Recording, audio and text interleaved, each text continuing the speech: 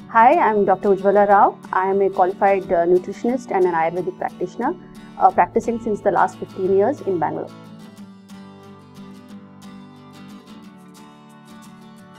Basically, the first and foremost treatment advised for a couple when they are they want to conceive is to change their life, lifestyle, uh, adapt physical exercises, take care of their body, and uh, maintain uh, themselves from stress and anxiety. A healthy body makes it easier to conceive, and this is the foremost step which we normally advise to a patient and to both the couples, in fact.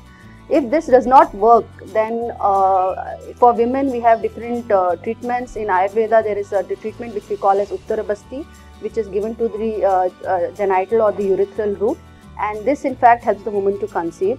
Similarly, males too, Uttarbasti is given, where again the treatment is the same, where uh, he also, if he is having a problem of infertility, it helps them out.